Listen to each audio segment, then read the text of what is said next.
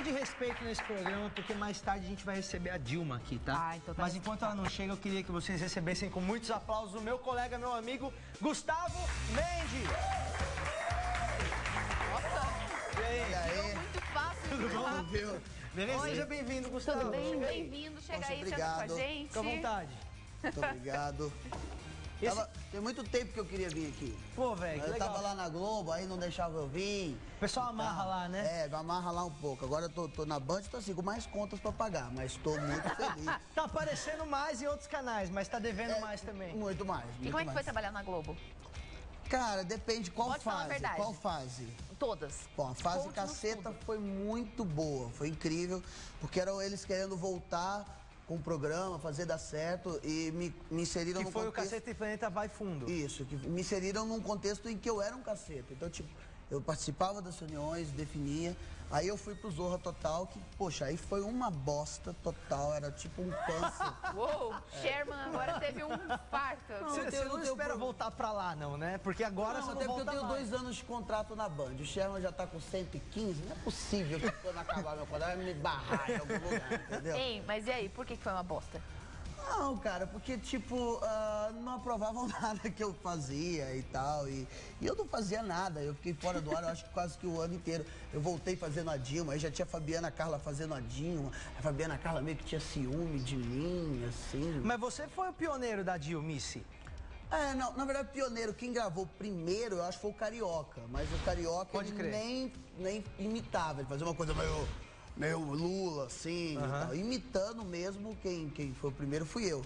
Aí depois vieram todos uma. Veio de uma bolada, que o cara pegava todas as minhas tags de, de imitação que eu criei, do perfil que eu criei e, e usava no Facebook. Eu acho muito bom, depois deu continuidade. Ah, mas, mas se tinha uma coisa que era boa você trabalhar lá, porque, meu, puta, você saía na rua, todo mundo sabia quem era você. Você lotava show, por exemplo, não? Não, não. O Zorra não te faz lotar show. Não? Não, não. É outro Eu dava público. show por causa de internet. Mas em compensação na padaria, todo mundo era Pode crer. fã e tal. Mas eu pagava o pão do mesmo jeito. Então Claro, não adiantava claro. praticamente. A gente tem aqui o primeiro vídeo seu que fez sucesso na internet, vamos ver. Fica salvando ela. Se você quer brigar de Big, de Big Brother, eu vou brigar de Big Brother. É o Big Fone, é o Big Fone. Atenção. Preste muita atenção. Vá até a dispensa, pegue o colarinho branco e enfie no seu c... Guarde bem esse segredo. Vá se f***, José. Porra! Quando eu vi esse, mano, eu caguei de rir. Nossa, eu vi quando surgiu eu. E o mais da hora é que, tipo, cara, ali você não tinha a produção que você teve nos outros vídeos. E já era engraçado pra caramba. Não, E é. dá pra ouvir umas risadas de fundo, assim, de pessoas galera que não não, se segurava. eles não se aguentavam, né? E que outros personagens você tem, fora a Dilma? Cara, por exemplo. Maria Bethânia? Né, são as imitações que eu faço. Eu nunca gostei de imitação. Eu sempre achei imitação uma coisa muito sem graça. Quem voltou com imitação foi o Ceará. No, no, no Pânico. Faz muito bem. Faz muito bem, porque ele bem. criou um outro estilo de imitação. Você já uma coisa- reparou que depois que o Ceará imita alguém, todo mundo consegue imitar essa pessoa? É, porque é muito mais fácil você imitar a imitação. É. Né? Se E- falasse pra você imitar o Jô, você não ia saber. Igual a Dilma. É. Todo mundo consegue imitar a Dilma Mas agora eu já porque consegui você... imaginar o Jô mais ou menos, porque eu, eu tenho imitação do, do Carioca. Sim. Né? Então, assim, é, é muito... é- você imitar a imitação é mais fácil. Então, eu achava, eu achava sem graça imitar. Mas aí eu, eu, eu vi o, o, o Ceará fazendo um novo estilo, que é uma coisa meio pica-pau louco, né? Ele pega a imitação e faz aquilo meio pica-pau louco. A Dilma é isso. Tem horas que eu faço a imitação de Dilma sério, que ela, ela fala pausada, tem uma coisa assim. Muitas pessoas vão me perguntar, Dilma, a senhora está feliz em estar aqui? E eu vou responder, estou muito feliz. Essa é a imitação dela. Mas aí. Filha da mãe. É, mas aí a loucura, quando vai pra loucura, vai assim, que que é isso? Você fez um absurdo! Terana." Aí é o pica-pau louco da imitação. É Então uma tem coisa que a Dilma não faria, mas como você tá imitando ela tão bem, você vê a Dilma É, fazendo isso. Mas eu acho que talvez ela faça. Ela, viu? eu imagino ela fazendo Eu imagino muito isso. Você imagina só, uma, uma senhora e tal, cabeça aberta, politizada, inteligente, já passou por uma série de coisas por uma ditadura. ela deve ser uma senhora assim, legal pra tomar uma cerveja no final de tarde, entendeu? Eu acho que ela Deve. tem humor. Até No porque- botecão bem pé sujo. É, eu acho que ela tem meio esse perfil. assim. O Lula deve ser o dono do bar, aliás. O Lula é o dono do bar. O Lula tem aquela cara que, tipo, é um cara que tem dinheiro. Mas é um cara que pega fiado. É, depois. Ah, depois a gente acerta. Depois acerta. Aí, e, não, e não acerta nunca mais, entendeu? Eu acho que ele tem. Eu acho que ele é, o, o- Lula é meio aquele amigo rico da, da turma. Que sempre pede emprestado pra pagar, vai que sai, puta, tem que cortar. Você imita o Lula? Você imita? Não, nunca imitei o Lula, cara. Então fica aí coisa, a- Fica... a. Companheiro, não sei fazer Mas isso. tenta imitar um pouquinho. Companheiro, você. Eu não sei fazer Todo mundo sabe fazer o Lula desse jeito. É. Ó, eu vou imitar o Lula. Companheiros, vocês precisam entender.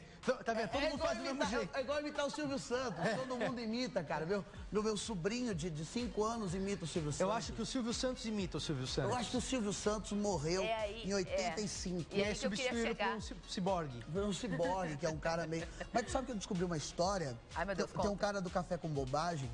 Puta, agora eu esqueci o nome dele. Tem um cara que imita o Silvio Santos, que ele faz o trabalho sujo, do tipo assim, coisas que o Silvio Santos jamais faria. Sabe aquele relógio?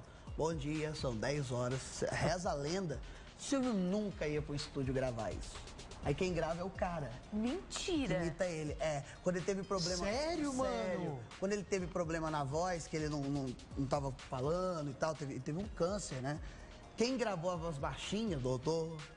Eu, Não é o Silvio cantando? era, o, era o cara que imita. Isso é uma lenda foda da televisão. Não, é do- não, e tem uma, e tem uma que é tão, tão boa que esse cara, ele queria viajar pra fora e o contrato dele ia vencer, tipo, dezembro. Mas ele queria viajar com o contrato assinado. Então ele ligou pra secretária do Silvio, porque ele sabe imitar o Silvio, como todo mundo sabe, e sabe imitar o Silvio no dia a dia. Ele ligou pra secretária e falou assim, olha, tá, tá vencendo, é o Pardini, lembrem? Tá vencendo o contrato do Pardini, tem o pessoal de olho nele. Então vamos fazer renovar o contrato dele logo e tal, prepara o contrato, vamos renovar. E aí a secretária logo em seguida ligou pro Pardini, porque imagina a secretária vai, mesmo se ela ficasse com dúvida, ela não ia ligar. Silvio, o senhor tem certeza que o senhor mandou? Ela não ia fazer isso. E aí ela ligou pro Pardini e falou, assim, olha, o senhor Silvio pediu pro senhor passar aqui para assinar o contrato, vamos renovar. E ele não foi tal. preso, meu Deus. Não, renovou. Renovou. Genial. É genial isso. Tá, e quem mais que você imita? Maria Bethânia, quero ver. Não, Betânia, eu gosto, eu, eu sou muito fã da Betânia. E Mesmo, eu tenho tudo da Betânia. Eu sou E- fã da Bethânia e da testa dela. É, eu também. A testa é maravilhosa. Aquilo ali é a testa Melhor você vai fazer qualquer coisa. Pra fazer sushi, dizer que, ó, que ela deita assim. e aí eu, imita- eu não conseguia achar uma música pra fazer dela. Aí eu comecei a fazer músicas de funk, umas outras coisas. Tem o Beijinho no Ombro da Beijinho no Bethânia. Ombro fez sucesso. Agora eu tô fazendo um beijinho no ombro com Betânia e Ana Carolina cantando. As duas juntas? Eu Faz um trechinho do beijinho no ombro com Maria Bethânia. Desejo todas as inimigas vida longa para que elas vejam a cada dia mais nossa vitória. Entra Ana Carolina. Bateu de frente, eu sou tiro porra de bomba. Aqui dos papos não se cria e nem faz história. Demais! Tarde. Puta que pariu! Ah, Pode falar, pode falar Pode isso? falar puta que pariu. Puta que pariu. É bom, é bom. Tá? Esse, esse horário, se não puder, os Eu caras sou põem meio pi. contra palavrão, cara. Eu sou Por meio contra palavrão. Não tô brincando. No show eu falo palavrão. Mas Entendeu? na Mas em casa eu não falo. Eu sou da tradicional família mineira. Então eu sou da época que, tipo, eu falo palavrão em casa, minha mãe botava pimenta na minha boca, quebrava meus dentes. Porque na minha época não tinha Xuxa intrometendo. Hoje a Xuxa não deixa bater em criança, mas na minha época ela não se intrometia. Mas se intrometesse também, apanhava ela, o Prago, o Dengue, Marlene Empanada, todo mundo lá. a Marlene. Aliás, a Xuxa foi no meu show no Rio de Janeiro. Mentira. Me caguei todo, sábado agora. Você sabia que ela tava lá? Não, não sabia. Ela foi- chegou antes alguém dela que falou assim, eu quero seis ingressos. E tinha, tava lotado, era só os seis ingressos de convite. E por coincidência, nesse sábado, eu não tinha convidado. Aí a produtora falou assim, ah, libera os convites então pra comprar. Aí a menina falou assim, você vai gostar de quem que é. Aí de repente chega a Xuxa, cara. Cheia de fumaça, porque eu imagino que ela anda com fumaça. É. Não, Fumaça e as paquitas Não, em volta. Xuxa, Sasha, o Juno, A Sasha namorado tá com o quê? dela. uns 20 anos já? Sei, cara. Quando eu, quando eu, eu, eu tinha, eu acho que 15 anos, ela nasceu.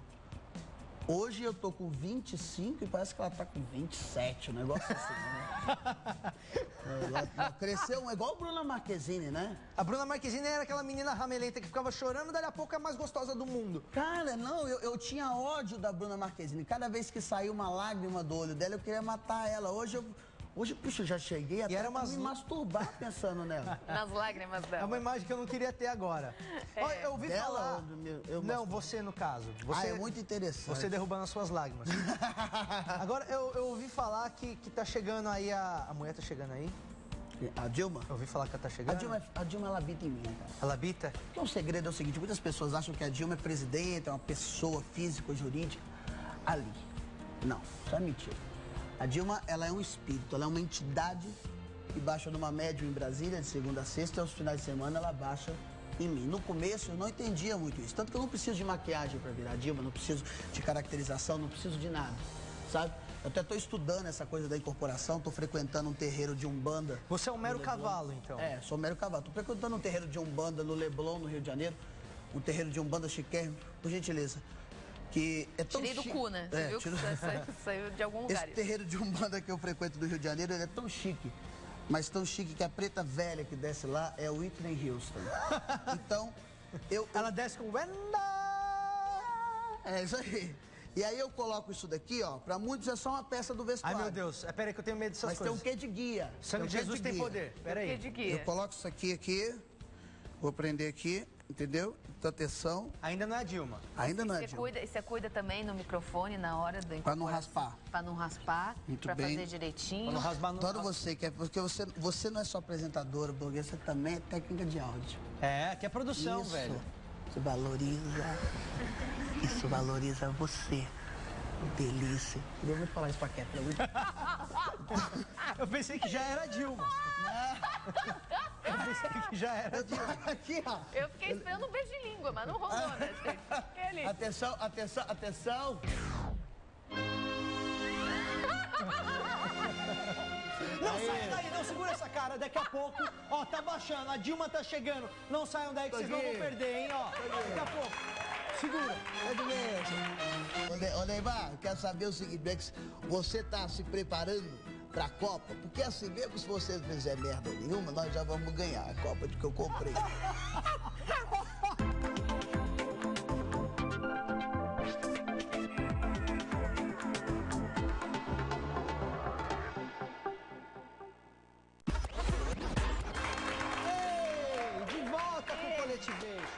Hoje com a nossa excelentíssima eh, presença da presidente Dilma. Presidenta, Desculpa, a senhora prefere presidenta presidenta? com A de mulher. Presidenta é importante salientar a questão da mulher. Então eu A, A de amor. Vem de busteta, C de coração. Oi. Calma, dona presidenta, porque esse programa Não, tem muito cacete. jovem Esse pro... Não, esse programa é meu. Essa, essa emissora é minha. A MTV é de quem? É minha. Você é meu. Já fui muito aí dentro. Kéfera é minha. Gosto muito também. Uma pessoa.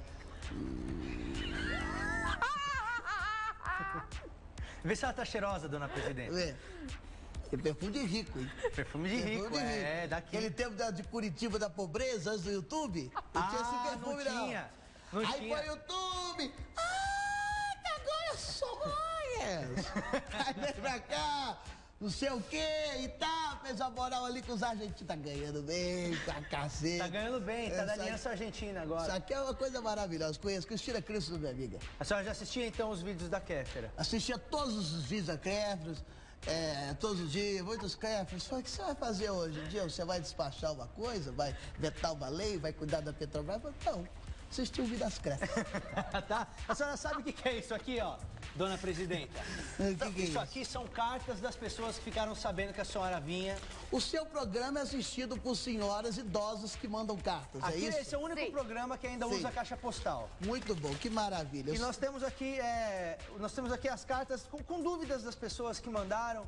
Acho que a senhora podia ajudar essas pessoas. A Kéfera vai fazer o eu vou sorteio. escolher aqui, porque por uma coincidência, tem uma carta roxa aqui. É essa que vai ser? É essa que vai Tudo ser. bem, Não vamos sei, ver né? Todas elas são brancas, vamos ver a roxinha o que, que A tem. roxa, a pessoa né? tem criatividade, escolheu o melhor.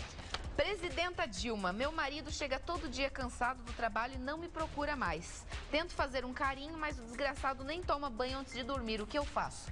Olha só, isso é uma situação um pouco complicada. Que eu procuro sempre ajudar a todos os cidadãos e cidadãos brasileiros. Entendeu? Acontece o seguinte, que o homem, ele precisa, ele precisa do carinho a mais, ele precisa da coisa a mais, entendeu? Então, por exemplo, ele nem toma banho. O homem não precisa tomar banho. Eu até indico que não tome mesmo, por causa do negócio de falta d'água. Porque ah, O reservatório da Cantareira está abaixo de Pois é, 12%. deve estar furado. Eu falei com o Paulo, deve estar furado. Cola com passa uma cola ali, uma coisa ali, cimenta aquela porra, que não vai ter problema, entendeu? Tá. Então, por exemplo, a precheca, ela precisa de muita água para ser limpa. O pênis não. Você pega aquilo ali, aqui, ó.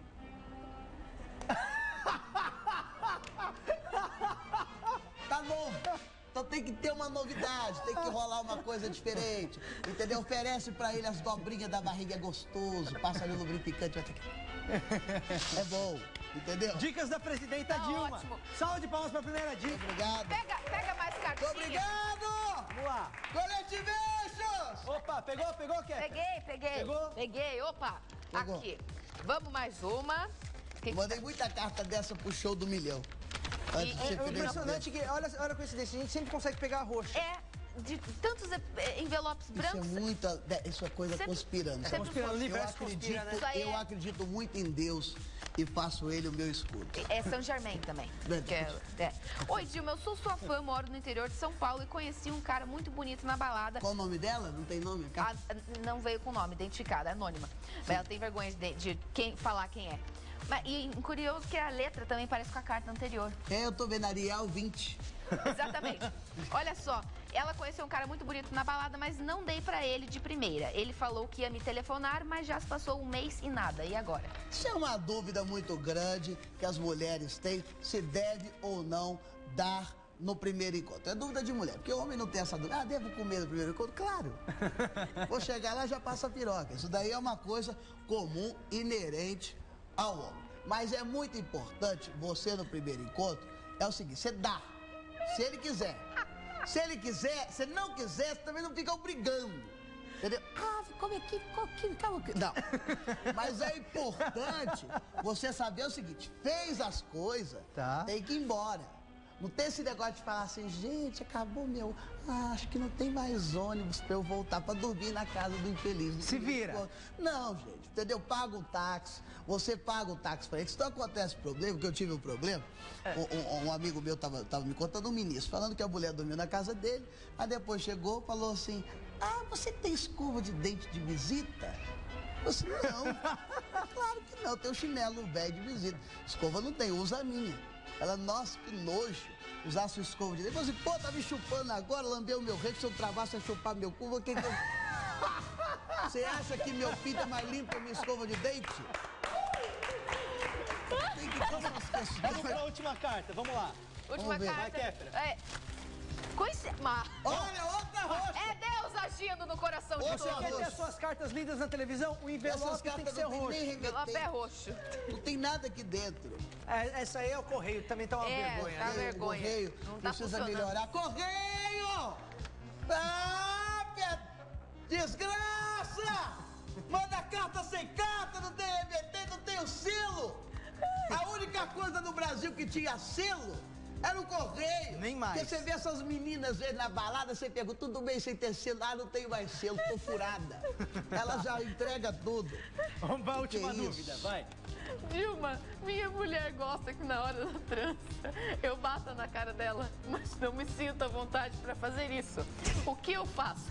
Bato mesmo assim ou falo que não gosto dessas coisas? Olha, isso é uma dúvida. Eu não gosto de apanhar no céu. Eu fui, fui guerrilheiro, né? Fui guerrilheiro. Eles faziam maldade comigo, enfiavam arame farpado em mim. Eu tenho Che Guevara tatuado no meu cu? Essa é uma coisa. Eu fui guerreiro, sofri muito. Então, é uma coisa que assim, a pessoa não gosta de apanhar, tem que. Você não gosta de bater, você é o. Por que, o homem não? Porque é uma bicha. Você vai. Então pede pra ela enfiar o dedo no seu. Entendeu? Você, enfia o dedo em você. Porque você pergunta assim, ah, minha mulher gosta de enfiar o dedo em mim, eu sou gay? Não, depende do dedo. Se é o dedinho dedão. se é o dedão do pé. Porque o dedão do pé, se você reparar bem, parece a cabeça da piroca. Então aí pode ser que você seja quantos dedos estão enfiando. Entendeu? Então, não tem esse negócio de apanhar. Se você não quer bater nela, não bata nela, entendeu? Paz e amor, não mereço estuprar. Estru... Estru... Ah!